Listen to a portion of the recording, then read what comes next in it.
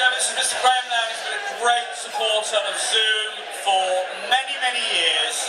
Always with us. Always a great supporter. Always does some fantastic stuff for us. Graeme, tell us about what you got here tonight. Um, well, my, my picture's a bit of a cheat because it's a, it's a picture of a picture.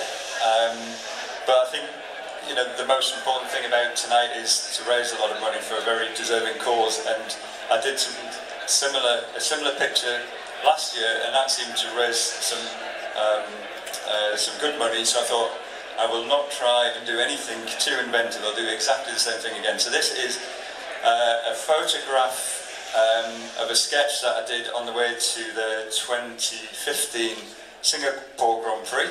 It was on an Emirates flight. Uh, started in Newcastle, uh, a little bit more in Dubai, and then uh, finished on the on the final leg. And just because I know there's a few people in the room who like a bargain, um, this is the picture that I was drawing. There's only four of these. Damon's got one. My two kids have got one each, and this is the fourth and only other one. So whoever gets the photograph also gets um, this picture um, as well. So uh, please, please try and be as generous as you possibly can.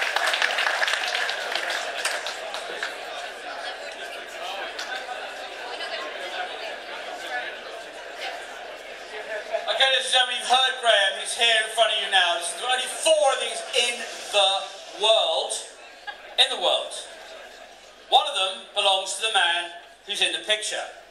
Two of them belong to his kids, which means they're under the bed, or they're torn up and they're in bits. So that means they don't exist. This is the only other one in the world. Graham Hill, sorry, Damon Hill, forgive me, my age.